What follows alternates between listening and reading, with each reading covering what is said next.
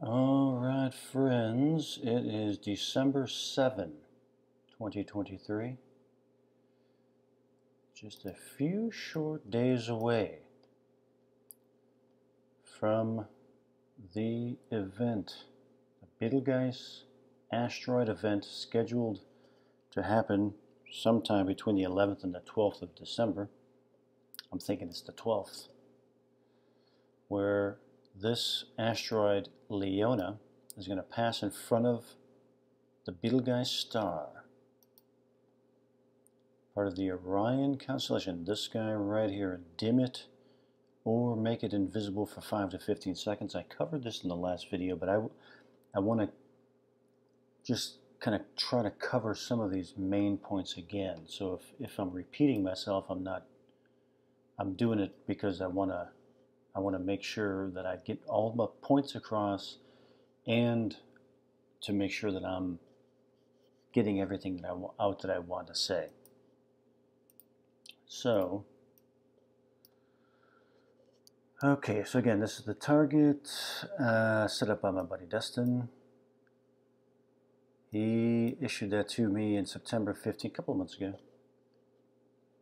I just finished it maybe about a week ago, week and a half ago. He gave me the feedback that it was this was the target, Betelgeuse, the red supergiant that they're saying is going to go supernova kaboom at any moment. Uh, based on how far away it is, maybe it's happened already, but I guess we might know that by now, but maybe not. Or they're saying it could be another 100,000 years before it goes supernova. Who knows? But the tasking was uh, Dustin was curious to see if I would be able to get any remote viewing information about the supernova, but he also had all these tangential, I think I might have said that correctly, tangential aspects that he also put into the tasking as well. This one being the one that I was drawn to the most, which is this guy here. Any available perceptions of the star's effect on human consciousness throughout our past history, currently, and in our future. That is um, was a big deal in these sessions. Also, I'm reading this now, and this part is a big deal too.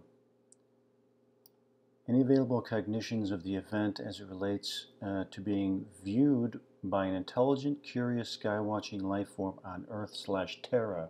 The word Terra is going to come up in my research. In the last video, I in the pre for the previous session, past two videos, I talked about this event happening on the 12th. How it correlates, in my opinion, to the COP28 event that's happening right now that will come to a close on December 12th. Again, this asteroid situation that's going to affect Betelgeuse on the 12th of, in, a, in five days. Dustin didn't know about that. I didn't know about it until I got the feedback and started doing my research. The other interesting thing, again, I think I mentioned this before, but I do want to mention these things again. Dustin gave me this as a target almost four years ago. It was in December of 2020.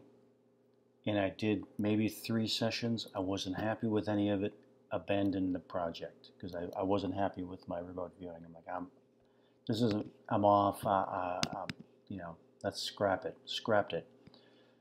Boom, gives me the target again in September, a couple of months ago, unbeknownst to him, this event is taking place in five days from now.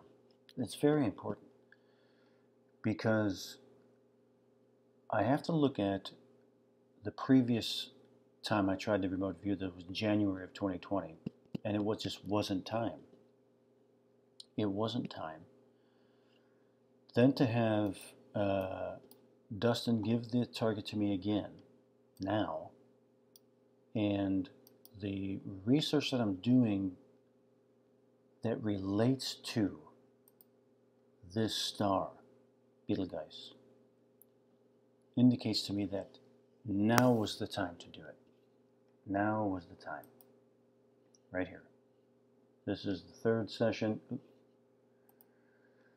And probably the last uh, video, uh, unless there's more that i am going to try to get everything in, in into this video.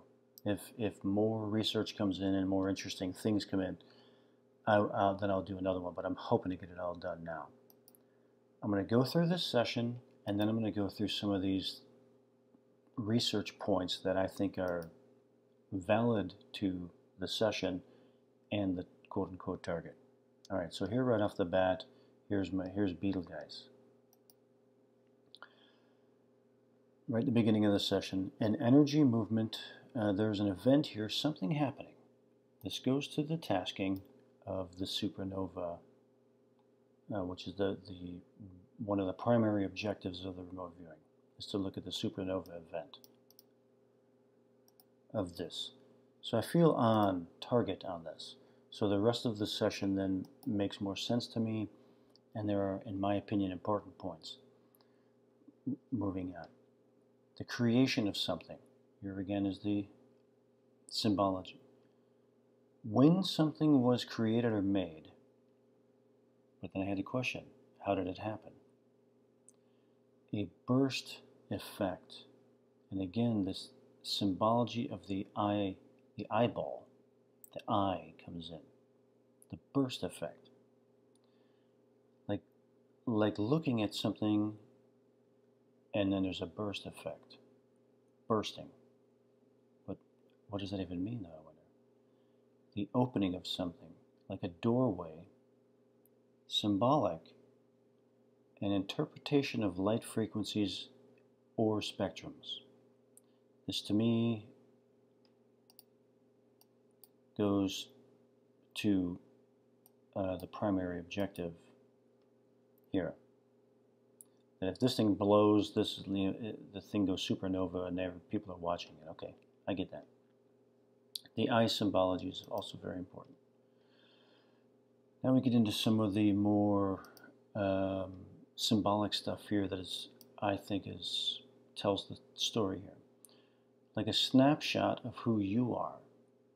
Who are you? Question mark. Where are you? Question mark. To put a hold on someone, to quote unquote capture them, even for a moment.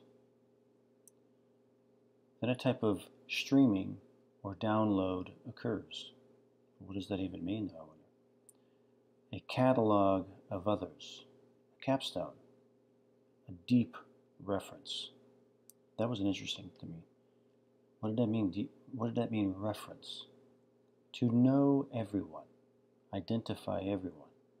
But why, though I wondered? An inventory and a sequence, a binding, to put things or people together. How was it made, though, I wonder? Crystal, diamond, glass? This is interesting to put people and things together.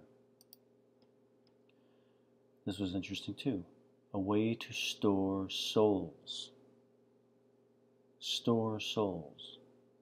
I'm going to go through, I'll, i am going to reference back on these once I start going through all the stuff that I found. That's really interesting. What does that mean though, when it's souls? The idea is to recognize you like a magic spell to hypnotize, enchant, bewilder. What happens then? I wondered. A record of you, but why? I had to contemplate. A book of souls. To see who and where you are. The idea of a quote unquote slave ship. What does that even mean, I wonder? The notion is if they see you, they own you. If they see you, they own you. But is that even true? I wonder. Only in the spell. But Then I had to wonder in the midst of this, because this was all very interesting to me.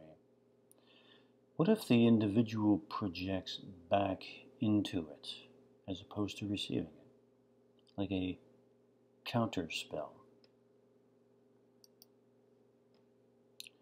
A glitch in the matrix, I question. That would make for a very interesting experiment. Changing the code. Or push the coding in reverse. It would be a system change. A reboot or reset could be exposed. Exposed. One would have to project as opposed to receive. How would that work out, I wondered? A standstill? A strong individual? A strong mind? A strong brain? a strong focus to affect the mechanics. That's how that would work out, in my opinion. Counterspell. Like being inside a projector, flashing frames, flashing images, one after another. This again has a sense of hypnotic induction to it. Flashing these frames in a fast projection. For what, though? To get this effect to alter people's perception, a type of mind control, a Pied Piper, leading people into a type of netherworld. And I found a reference for netherworld that really was very interesting. I'll, I'll get to that. What does that even mean, though, I wonder? a not so real world. This happens when the brain is subjected to this, an optic sensation. Very hypnotic. It's a type of quote unquote magic.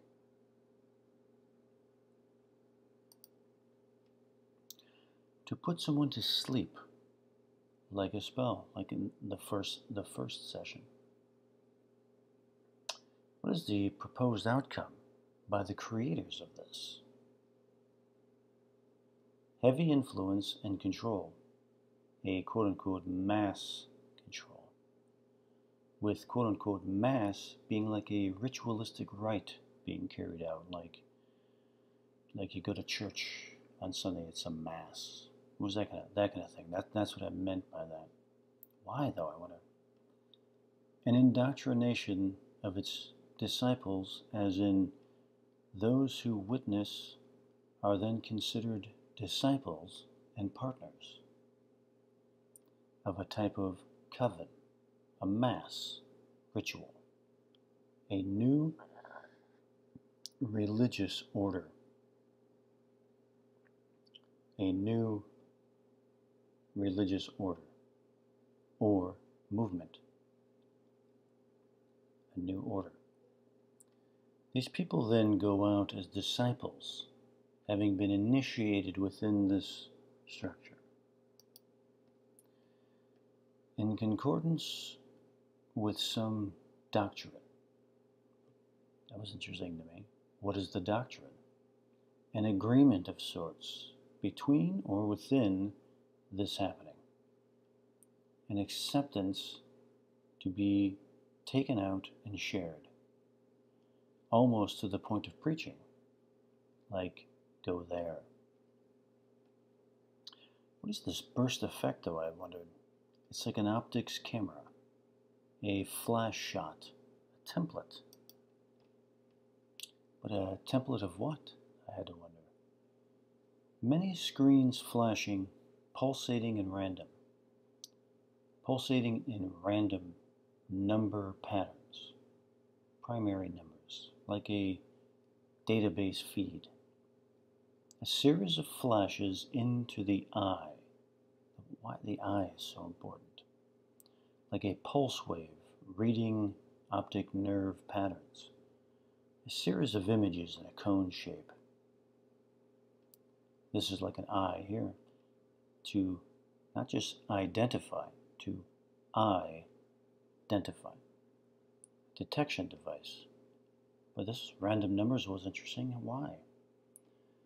No one can be the same or identified per region numbers. I'm not sure what that means. Sequence, categorized, sequenced and patterned, pulse wave readings, pattern recognition into a type of cache. Cache, though, I wonder. And again with the eyes. The eyes are so important with this. A series of eyes captured, sequenced, and delivered. Data. Delivered, though, I wondered.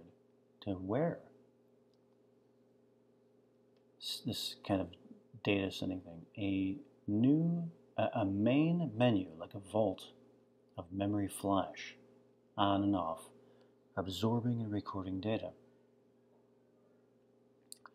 Then there was this, again with the eyes, like an eye nebula in space being recorded by this satellite. Pattern detection on light frequencies and matching them to an elemental database, atmosphere readings and pressure readings, and mercury readings. Mercury elements, but how, I wonder? Is it liquid metal as an element, a flowingness to it? Like a silver stream moving and flowing? Chemical readouts? Pressuring or pressurized? Compressed or heavy? Like being in an area or environment that feels heavy and pressurized, like a strong gravity produced by a fast spinning body. Now, I don't know what happens. I'd have to look this up. When a star goes supernova, does it is it when the core starts spinning really fast and it blows up? I, I just don't know. But there's a lot of things in here that um, I've been able to find. Some of them I've gone over in the previous videos, like the, the comet that's going to pass, the significance of Betelgeuse, the star, and the Babylonian myth, or what was important to the Babylonians, and the, the importance of Babylon itself. Specifically, the god Enlil, who was the, the Babylonian god associated with Betelgeuse, and the other gods associated with Enlil, which we'll get into here.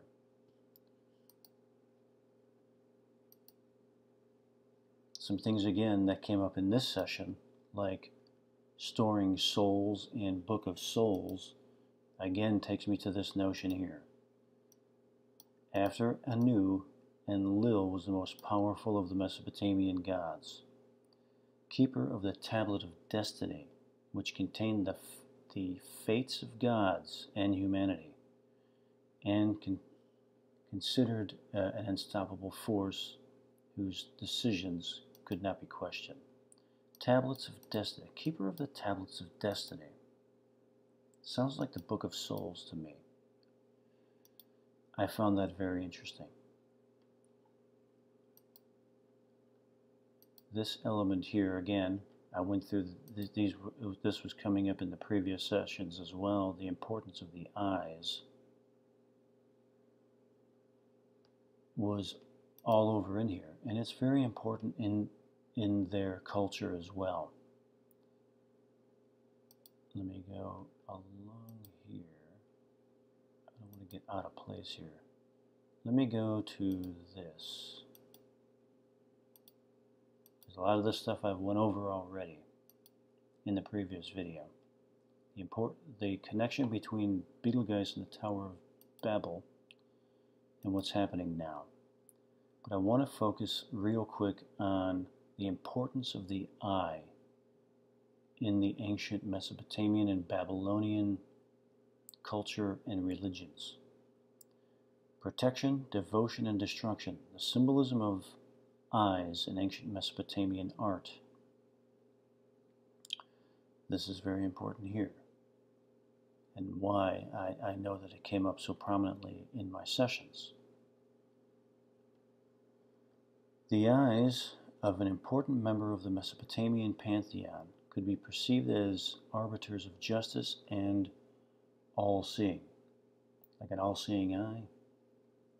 Solely depicting the eye of a god could represent the whole god, including all of which the god represents. This was especially true for the sky god An, the moon gods Sin and Nanna, the air god, the air and earth god Enlil, the water god Enki, who we're going to get into, and in later periods, the patron god of Babylon, Marduk. So this is this is very important here because like I was saying in the previous video, the importance of the date, December 12th, of this asteroid flying in front of Betelgeuse. The COP, the COP28 uh, conference, which is happening right now, today's December 7th, it's going to end in five days, December 12th, the same day. The similarities between Babylon, Betelgeuse, the god Enlil, and the Commonwealth Games show that took place last year with the then Prince Charles, now King Charles III, as the main guy. And what they depicted in that show that they performed, the performance that they did. I went over this in the, in the previous video. I'll go over it again very quickly here. In the, pre, the, the ceremony for the Commonwealth Games last year, this is how it connects again to Babylon, the Tower of Babel. Starts out with an exploding star.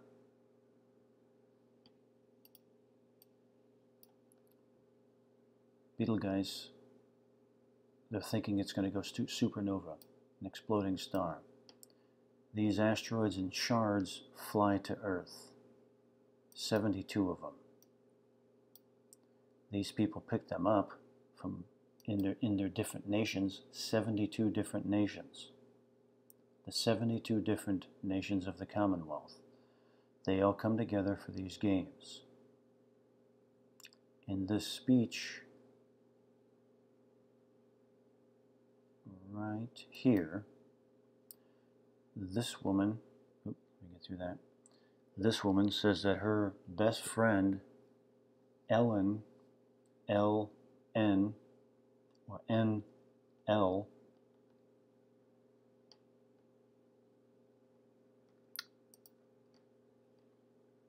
told her some stuff about the Commonwealth. It was the, the, the importance to me was that this woman, Malala, has a best friend named Ellen. Another name for Enlil is El El Lil. El El Lil L N.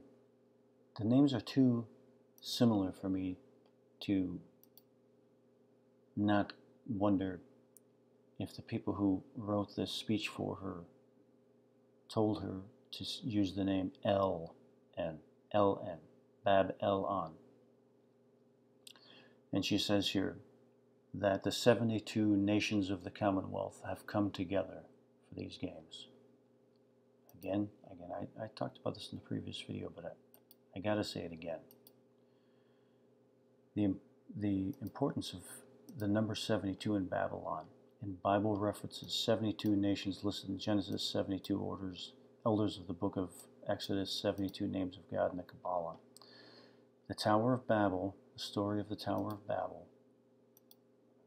is that everybody spoke the same language. They came together in this area.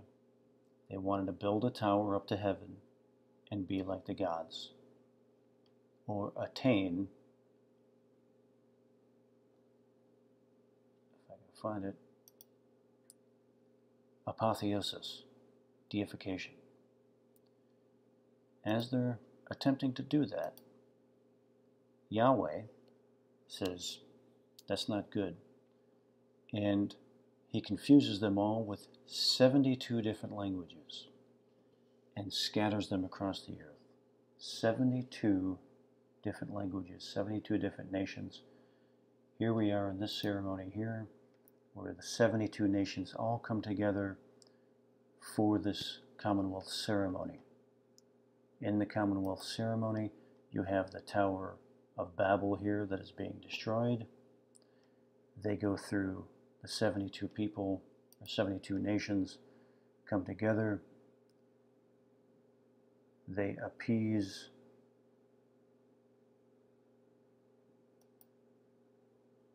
the bull, which we're going to talk about in a minute.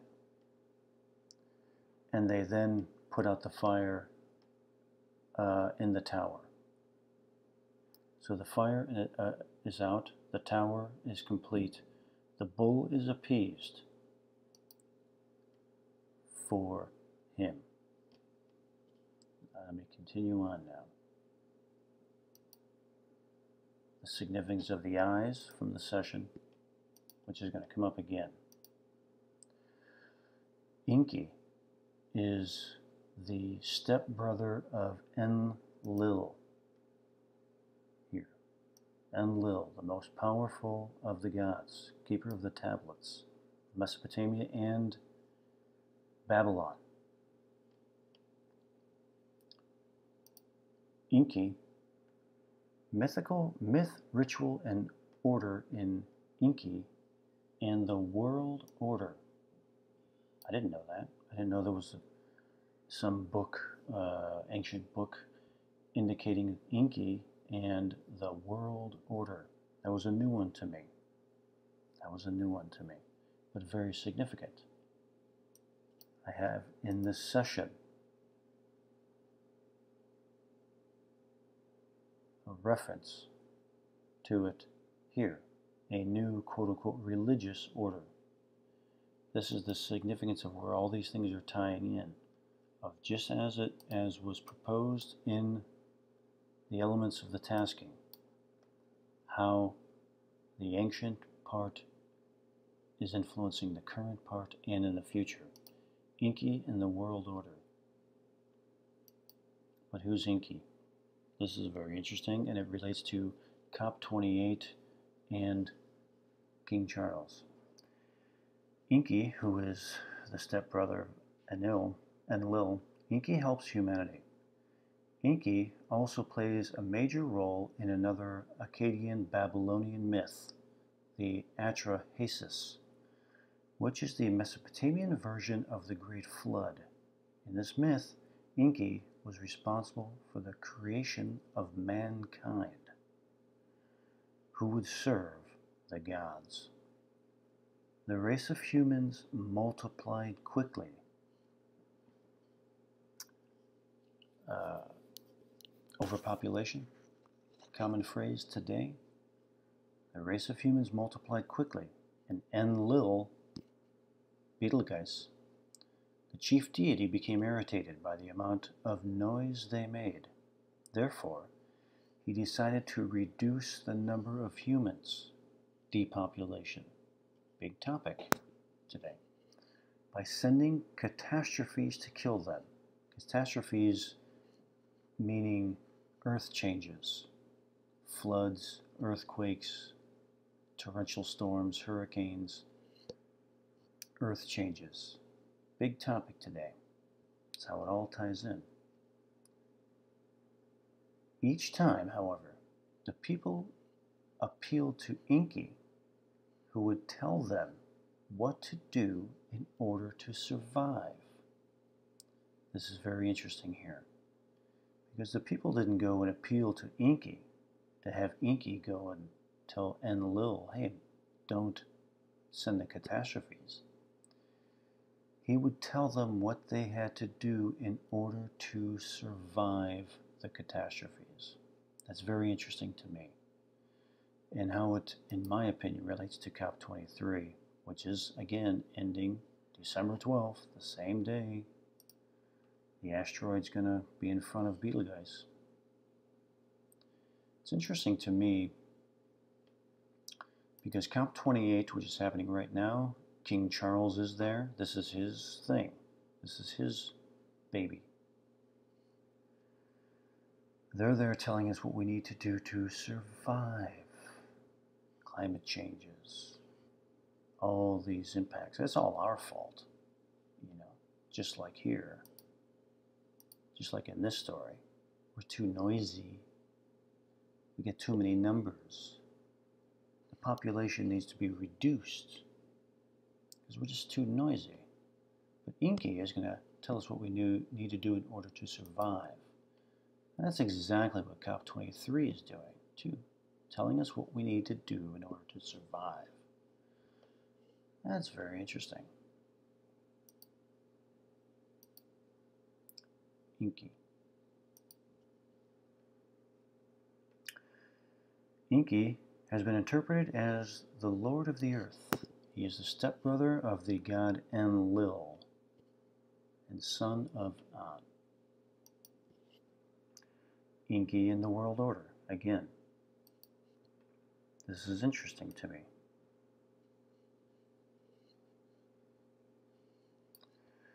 I'm going to read a little bit of this. Lord of heaven and earth, self reliant Father Enki, engendered by a bull, begotten by a wild bull, cherished by Enlil. Now, this word, I didn't really know what that meant. Engendered, what is the hell does that mean? Engendered by a bull. To bring into existence, to procreate, to come into existence. So Enki was brought in by a bull. Well, that's very interesting because in the ceremony, they tamed the bull. Here. There's the bull represented, and he's tamed.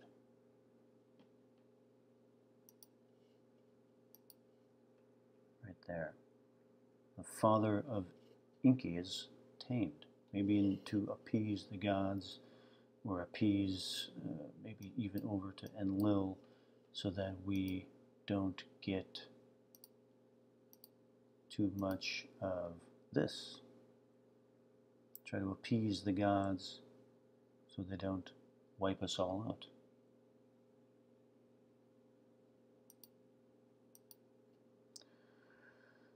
Enki here talks about the world order. Enki and the world order. Well, we're not unfamiliar with that. We are in the era in the era now of a new world order. Is this Enki's new world order? I have to wonder. It seems that way to me. Just as I had proposed in the previous video that given all these connections, I propose that Charles may see himself as the king of New Babylon, rebuilding the Tower of Babel as he showed here. There it is. The Tower of Babel is rebuilt.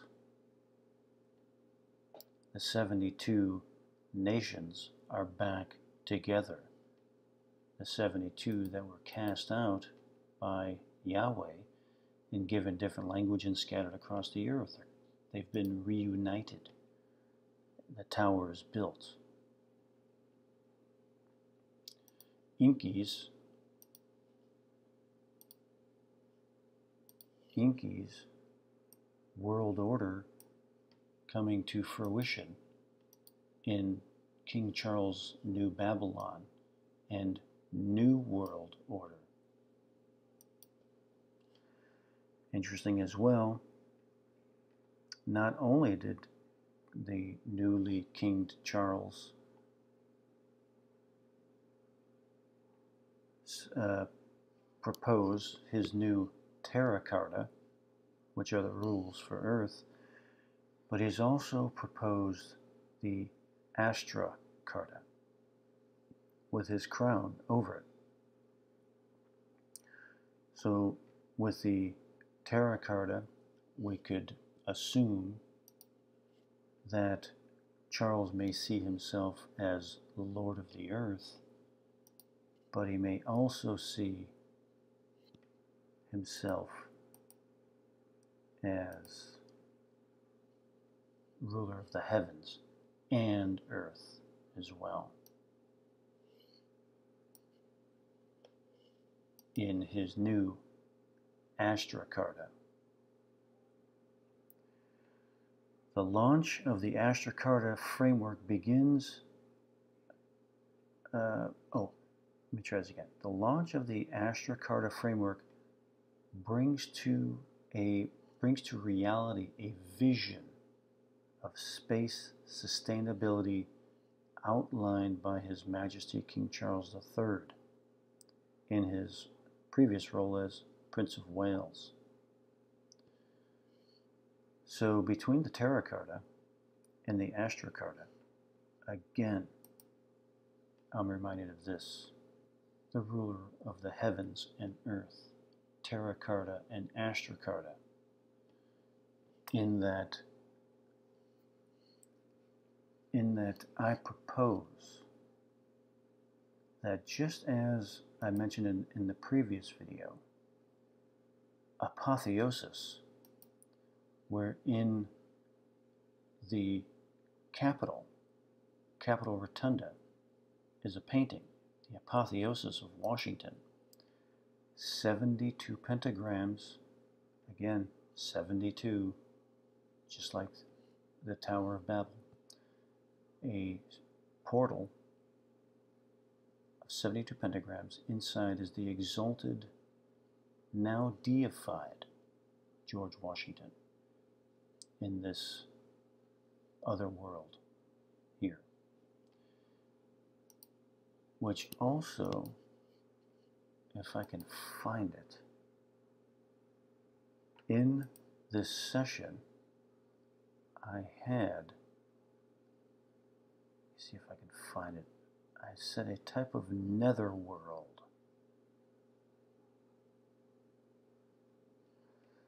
Probably looking right past it now.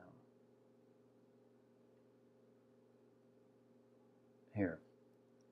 People, leading people into a type of nether world. I found that reference to the Babylonian netherworld, if I can find it now. uh, if I can find it, it was really, really pretty interesting. I may have I may have lost it, but there is a reference to the nether world. Let me try to find it. Here, Babylonian netherworld.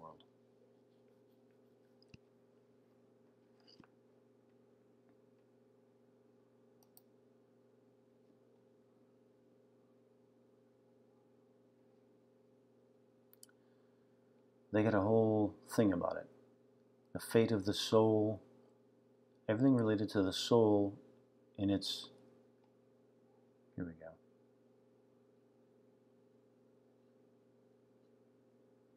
Ancient Mesopotamians conceptualized the nether world as the cosmic opposite of the heavens and as a shadowy version of life on earth. Metaphysically, is thought to lie a great distance from the realm of the living. Physically, however, it lay underground and is poetically described as located only a short distance from the Earth's surface. M metaphysically, a great distance from the realm of the living. And that's what I was picking up on here, leading people into a type of nether world, and the use of the word netherworld. Very significant. The eye. Again, throughout the entire series of remote viewings, the eye was a big deal. How might that relate to where we are now? Possibly with this the World ID. where you look into this orb and it takes a picture of your eye and it stores it in a database for a world ID. It's associated with WorldCoin, where you'll basically have your identification based on your eye scan into a database. And they'll pay you a little bit of crypto, crypto to do it as well. I, my sense is that this element here is associated with this idea here, which connects to this idea here of Enki and the world order. And how it relates to the new world order. And how that connects to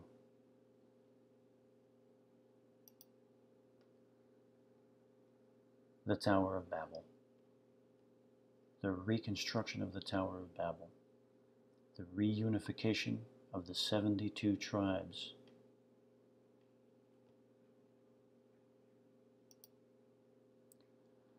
Under the new king, the king of the new Babylon, and who also may see himself as the new Enlil. Ruler of heavens and earth. Heavens, again, I can find these, from his Astra Carta, with his crown over it.